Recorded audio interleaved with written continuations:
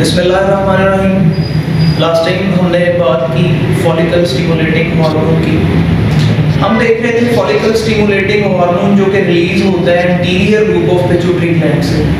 और उसको हमने कंप्लीट कर लिया था। नेक्स्ट हार्मोन आज हम देखेंगे ल्यूटिनाइजिंग हार्मोन तो हमारा टॉपिक है आज का जी ल्यूटिनाइजिंग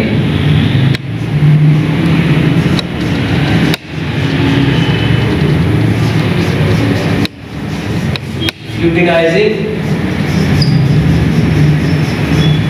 यूटिलाइजिंग तो कुछ चीज़ें मैं कल बता चुका था, मैं एक दफ़ा रिपीट कर दूँ हल्का सा। मैंने आपको कहा था कि जब एस्ट्रोजन की मकदार बढ़ती है तो उसकी वजह से फॉलिकल स्टिमुलेटिंग हार्मोन की मकदार कम होती है। क्या बढ़ा था हमने देखा एस्ट्रोजन की क्वांटिटी पड़ती है तो क्या होता है? एफ़ एस एच जो है वो कम होता है। और हमने कहा कि एज अ होल हमने कहा कि एज अ होल इन दोनों चीज़ों की वजह से एक और हार्मोन रिलीज़ हो रहा है, एक और हार्मोन रिलीज़ हो रहा है, जिसे हमने नाम दिया क्या जी? ल्यूटिनाइजिंग हार्मोन का, जिसे हमने कहा कि ये क्या है? ल्यूटिनाइजिंग हार्मोन है। पहले तो हमने देख लिया कि ल्यूटिनाइजिंग हार्मोन किस तरह से रिलीज़ हो रहे हैं। और कहाँ से रिलीज़ होता है? कि डेफिनेटली ये भी एंटीरियर रूप से रिलीज़ होता है। ये भी कहाँ से रिलीज़ होता है? रिलीज्ड फ्रॉम एंटीरियर रूप रिलीज्ड फ्रॉम एंटीरियर अच्छा अब हम देखेंगे ल्यूटिनाइजिंग हार्मोन का कुछ चीज़ें मैं कल अगेन बता चुका था, आपको मैंने कहा था कि जब एग बनता है egg let's suppose that is egg तो वो एक कवरिंग में बनता है, जिसे हम फ्यूचर में जाके क्या कहते हैं जी?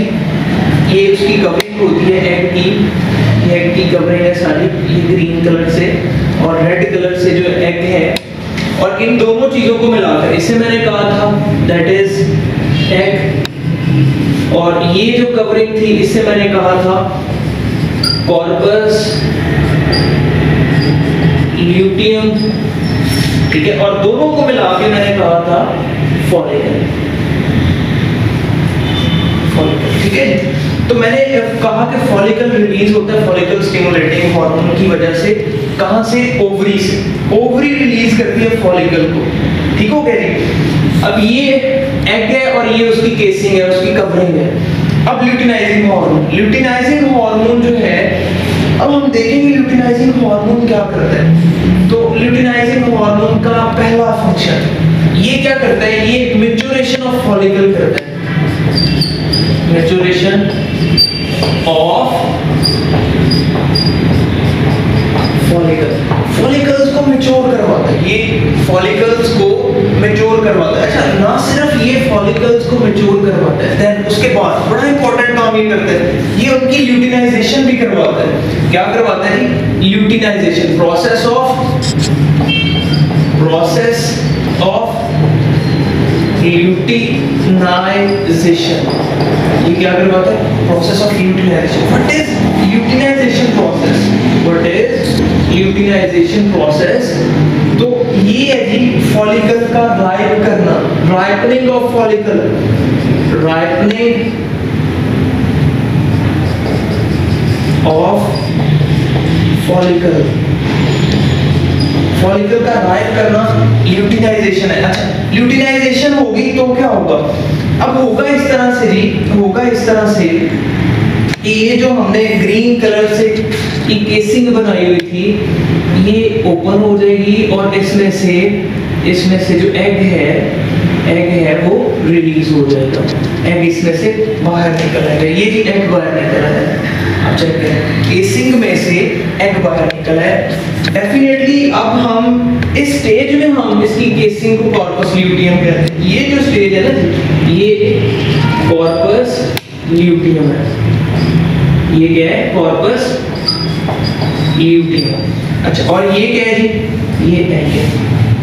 एग तो ये जो प्रोसेस है इसे हम ओव्यूलेशन भी कहते हैं। ये प्रोसेस क्या है जी?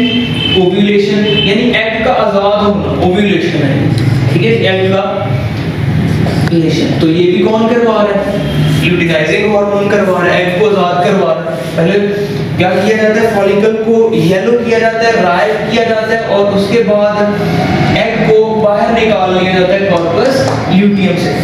अच्छा तो आप कह सकते हैं, इसी का फ़ंक्शन है क्या जी कॉर्पस ल्यूटियम की फॉर्मेशन ल्यूटिनाइजिंग हार्मोन हार्मोन ही तो फिर क्या कर रहे हैं? कॉर्पस ल्यूटियम को बना ये क्या कर रहे हैं? Formation of corpus luteum formation of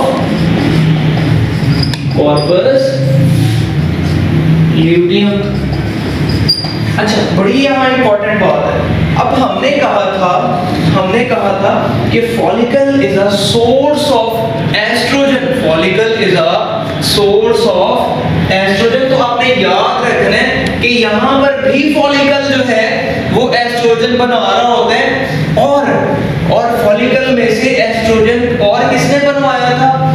follicle stimulating hormone ने। ये भी क्या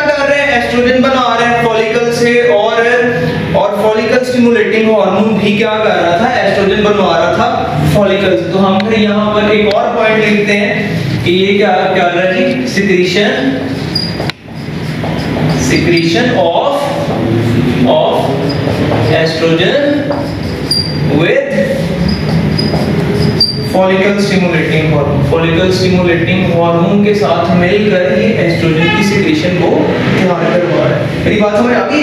यहाँ बड़ी इंपॉर्टेंट बात, यहाँ बहुत इंपॉर्टेंट बात। अब ये जो कॉर्पस ल्यूटियम बन गया है, भाई, ये कॉर्पस ल्यूटियम डेवलप करके एक स्ट्रक्चर बनाता है और उस स्ट्रक्चर से फिर प्रोजेस्टेरोन की सिक्रीशन होती है। और प्रोजेस्टेरोन की सिक्रीशन आपको पता है प्रोजेस्टेरोन का काम है प्रेगनेंसी को मेंटेन करना।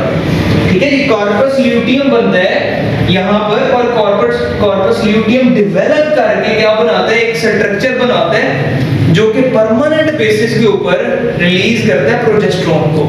अच्छा अब प्रोजेस्टेरोन प्रेगनेंसी मेंटेनिंग हार्मोन है। प्रेगनेंसी अगर ह्यूमन की बात कर लें तो 280 डेज़ की होती है गेस्टेशन पीरियड जो है, वो 280 डेज़ का होता है। और ये स्ट्रक्चर जो कार्पस ल्यूटियम से बना है और और रिलीज़ करता है प्रोजेस्टेरोन को, ये 280 डेज़ तक प्रोजेस्टेरोन रिलीज़ करता है और प्रेगनेंसी मेंटेन करता है। मेरी बात समझ आ गई? तो फिर आप कह सकते हैं कि फॉलिक ये जो ल्यूटिनाइजिंग हार्मोन है, ये प्रोजेस्टेरोन की सिक्रीशन को भी प्रोड्यूस कर रहा है कहाँ से? कॉर्पस ल्यूटियम से।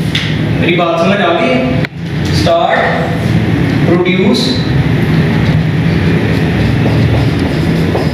प्रोड्यूस क्या जी progesterone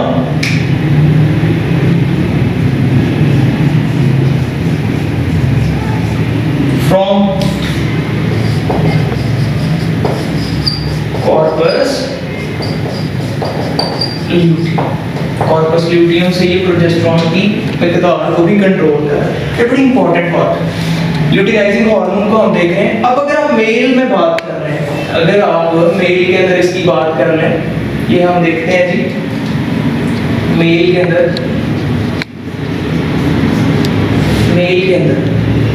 तो मेल के अंदर भी ल्यूटिनाइजिंग हार्मोन बनता है, लेकिन मेल के अंदर हम इसे कहते हैं interstitial cell stimulating hormone interstitial interstitial cell stimulating hormone I C S H interstitial cell stimulating hormone अच्छा ये करता क्या है? मेल के अंदर ये क्या करता है? भाई, ये मेल के अंदर जाता है। मेल के अंदर जाकर टेस्टिस के ऊपर इंटरस्टिशियल सेल्स के ऊपर एक्ट करते हैं और वहाँ से टेस्टोस्टेरोन की मिकदार को प्रोड्यूस करता है। मेरी बात समझ आ गई है? ये क्या करता है? Act on inter interstitial cells of testis to produce